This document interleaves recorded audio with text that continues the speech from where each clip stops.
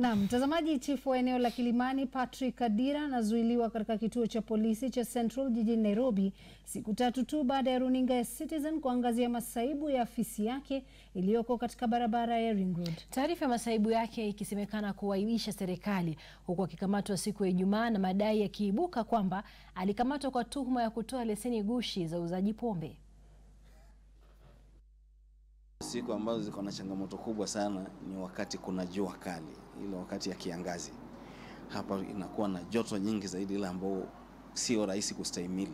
Ndiyo changamoto ambayo chifu Patrick Adira amekuwa akikumbana nayo kwa muda wa miaka 17 kama chifu wa eneo la Kilimani, masaibu yaliyoangaziwa na runinga ya Citizen siku ya Alhamisi. Lakini cha kushangaza sasa ni kwamba Chief Adira aliyetuelezea kuhusu changamoto hizi amejipata mashakani, kwani kwa siku ya tatu sasa anazuiliwa kituoni baada ya kukamatwa siku ya Ijumaa. Sababu ya kukamatwa kwake ikidaiwa kuwa alikosa kuhudhuria kikao cha kusikizwa kwa kesi dhidi yake tarehe 26 mwezi Machi baada ya kukamatwa tarehe 6 mwezi huo kwa madai ya kutoa leseni gushi ya uuzaji wa pombe, na mahakama ikatoa agizo la kukamatwa kwake. Chifu Adira aliagizwa kufika katika afisi za kaunti ya Nairobi siku ya Ijumaa, ambapo alizuiliwa kabla ya kupelekwa katika kituo cha polisi cha Central.